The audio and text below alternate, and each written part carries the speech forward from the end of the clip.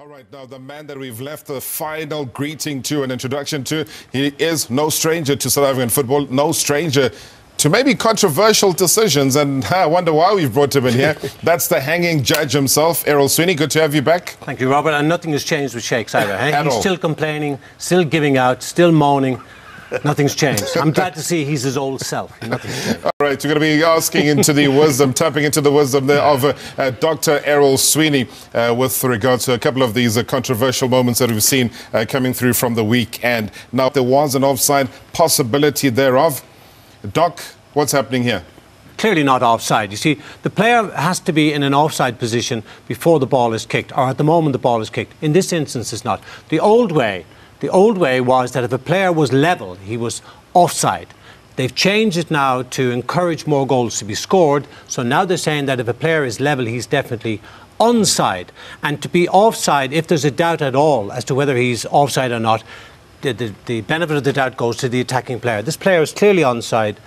Uh, definite, legitimate goal. All right, as we've got it there on that freeze, a couple of people will be saying that even if there's a limb, like uh, there, there's an arm that seems to be just ahead. No, it's gotta be the body. Got that live. It's gotta be the torso, It's got to be the torso Yeah. that goes through. Not so that cancels out that myth Yeah. again.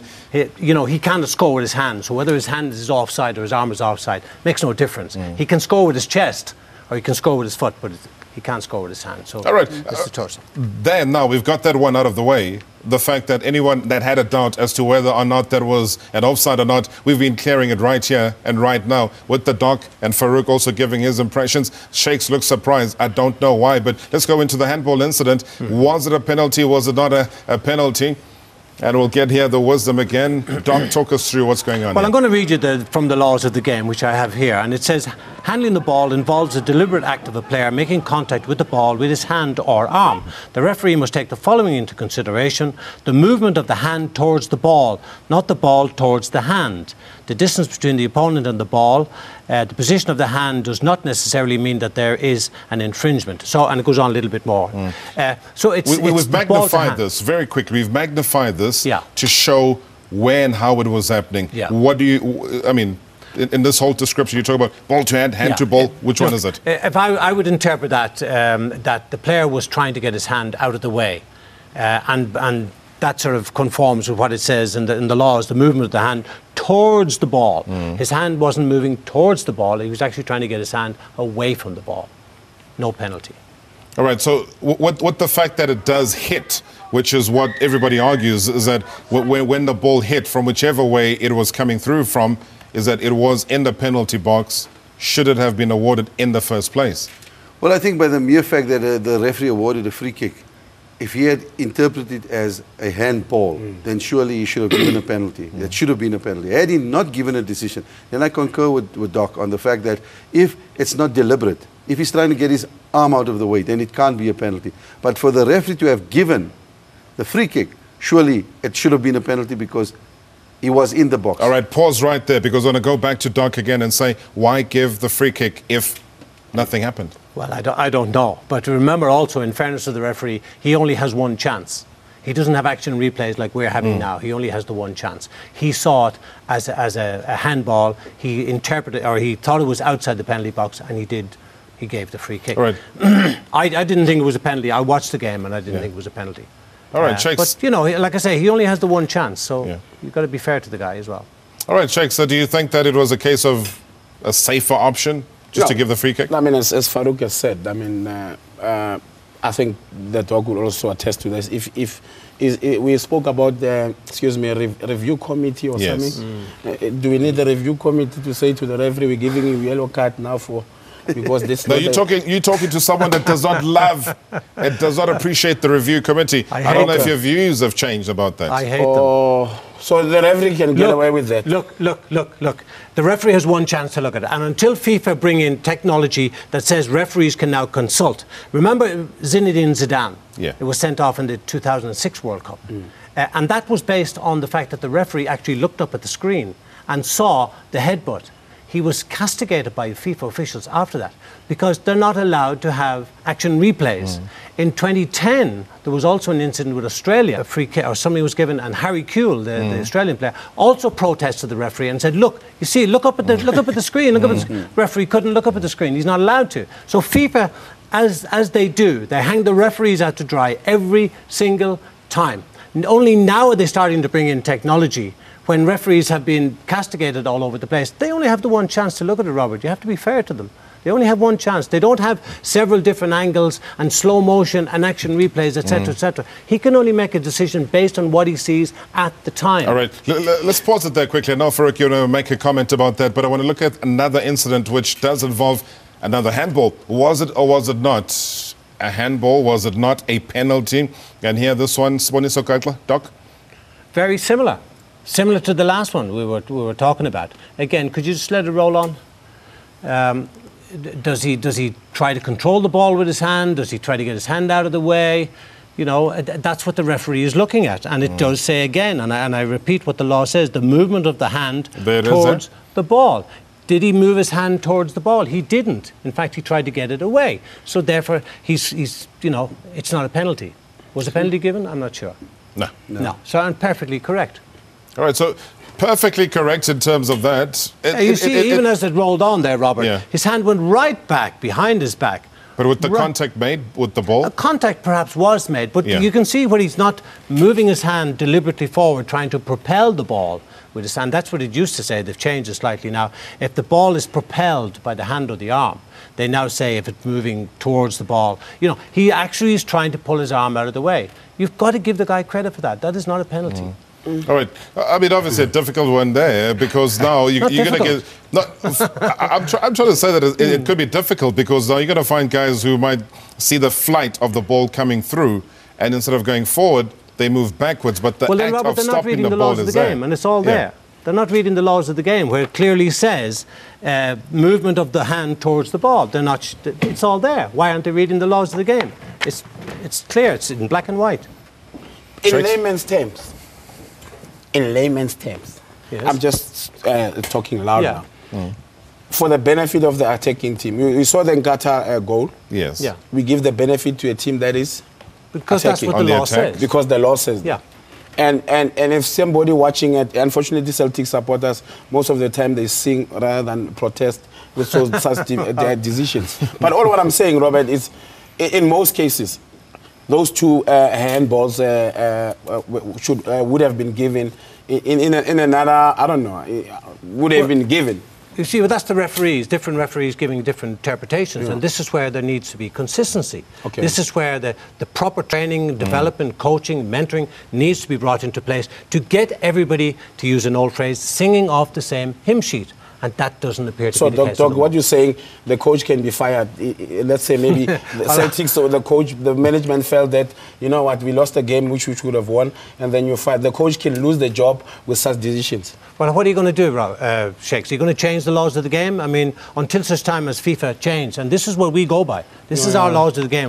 We can't, we don't make the laws, we just apply them. Yeah, So I that's, see. that's that's literally the Bible that Yeah, uh, everybody has to go by. But and with that though, let's move away from what's been happening as far as refereeing is concerned. Let's go back. According to the hanging judge, it will be so difficult to have a penalty awarded in a handball situation.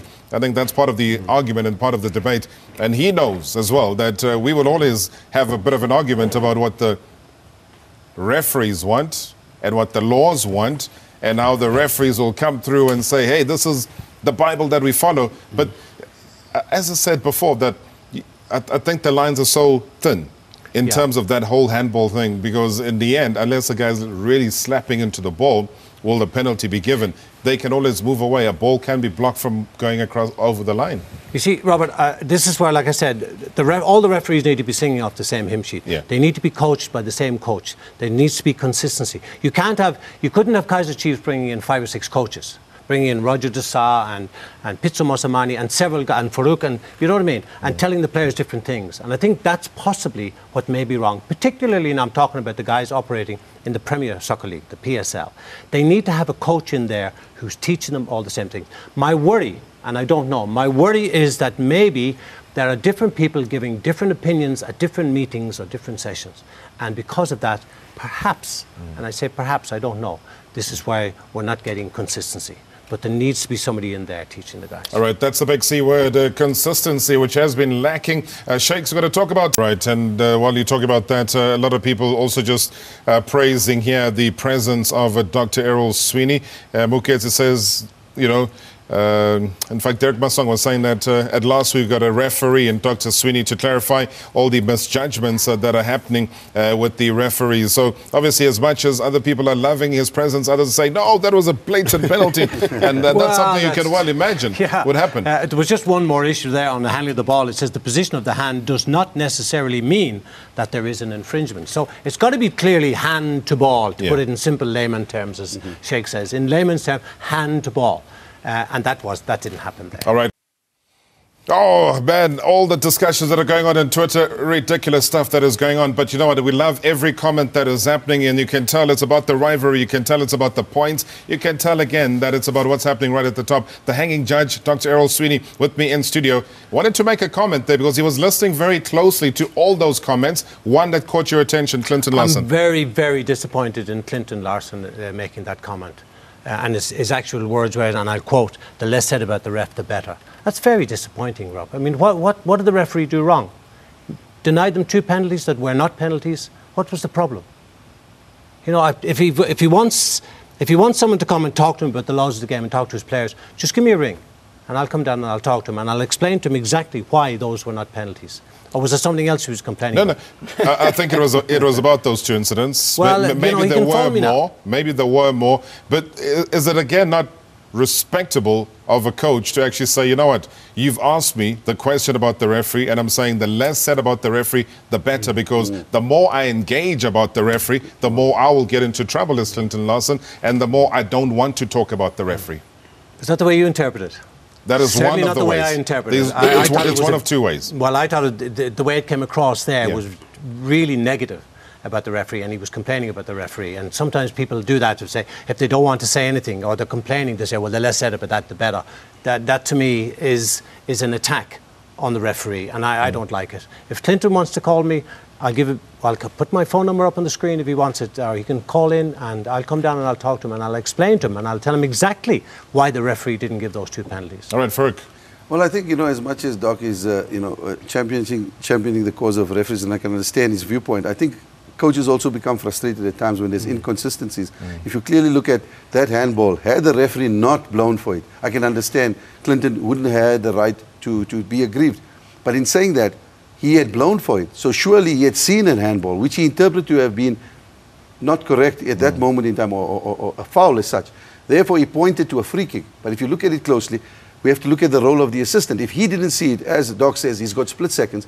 What's the role of the assistant? We saw in the game where South Africa played Car, a decision where the referee awarded a goal, mm. then went, the, the entire Bafana team went to the referee, went to the linesman, and he, he took back the decision. So we, where does this split second thing come in? It's, mm. It suits them at times, the referees, and at times it doesn't. We have to be consistent. And I think in fairness, to clarify things so everybody out there understands this is the rule and this is what should happen. Maybe then the goal that was awarded against Bafana should have stood. The way I mm. understand it. No, I Unless I've hear you, and, and, and it is a, a, a situation about consistency there. I will gladly say, and we see it every week here in the studio again, Doc, is that week in and week out, you, you get a similar handball incident being given as a penalty, and in exactly the same manner, the following week, that is not given as a penalty. No card is awarded. The game carries on as if absolutely nothing happened. So the frustration with the coaches is with Yeah. dealing with that. So how, how then do you Yeah, articulate that as a frustration, coach? fr- frustration shown by coaches can get people seriously injured or maybe even killed. And, and you know, uh, I, I've seen coaches run up and down the line and scream and shout and, and, and almost get the, get the crowd on, on the back of the referee. The referee's on his own. He's got a split session to, uh, se- second to make the decision. And he does what he thinks is right at the time. Now, uh, I didn't see the the the, the uh, Bafana goal Sure. against Carr, so I, I don't I can't really comment on that. But you know that referee has got to go home tonight, tomorrow. If he made a mistake, he made a mistake. Uh, I'm sure he didn't do it deliberately. Uh, and referees will make mistakes all the time, and mistakes do happen. What about all the mistakes the coaches make? What about all the mistakes the players make? Nobody says anything about that. What about the mistakes the goalkeepers make? Nobody says a word about that. But the referee, actually, you could probably you could combine the referee with a goalkeeper, and they make one mistake, and you know it's all over the place. I'll say the, the referee is a big decision maker, though, in terms Yeah, of yeah, a football yeah. match. You, you know, you, you can win or lose a game due to one single mistake, So the- one the- single decision yeah. that's taken by ref. So the bottom line, uh, the bottom, uh, I nearly said the bottom line. The bottom line is uh, referees are human. yeah, They're allowed to make mistakes. yeah. No, not allowed to make mistakes. They, But do can make mistakes. Yeah. So coaches can also make mistakes. Yes. So every human in the soccer field is allowed to make Of- mistakes. Not allowed. They can make mistakes. Thank you. They can Let's- make let's mistakes. move on. Okay. All right. Uh, very quickly, before I, I go into the break, ball boys. Others have been kicked. Others, all sorts of things have happened to them. Guys but have laid on the ball they, and held are they in a position to be given a red card? No. Not Only at all. the players on the field can be given a red card or substitutes. Nobody else. Okay. W- Weird, bizarre, whatever you want to call it. I can tell you right now, though, that this, whether it was a red card given to a ball boy or not in the Swallows game, you What? make up your mind. we go I'm into extra time one. break. Shui, check it out.